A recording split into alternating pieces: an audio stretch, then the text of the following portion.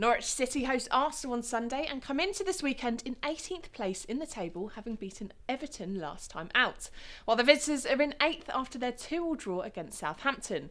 The Gunners have failed to win their last five league games on the road, whereas Norwich have lost their last three at home. Daniel Farke's side have conceded at least two goals in each of their last five Premier League games, too. And the last time Arsenal kept a clean sheet away in the league was a 1 0 win against Newcastle back in August.